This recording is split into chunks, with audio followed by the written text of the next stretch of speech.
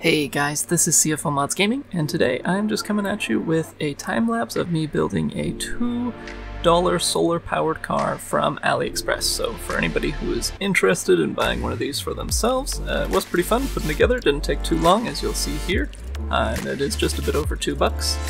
Um, I'll go ahead and show you guys the time lapse of it here, and uh, here is the listing for anybody wondering. I do believe this is still the current price as of the time of posting, which is $2.61, and then I believe it's 47 cents shipping. So I suppose it uh, would be more accurately titled the $3 um, solar powered car, but other than that, I'm just going to go ahead and let you guys watch the time lapse. Thank you for watching. This is CFO Mods Gaming, out.